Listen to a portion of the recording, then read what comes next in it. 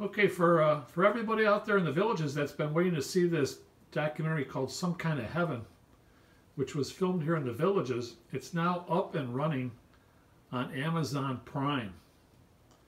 Uh, the price is $6.99 to rent the movie. Uh, you can find it when you do a search engine on that uh, website here at the at the Amazon Prime. So uh, go ahead, check it out. It'll save you a trip to Ocala, $6.99 to see some kind of heaven.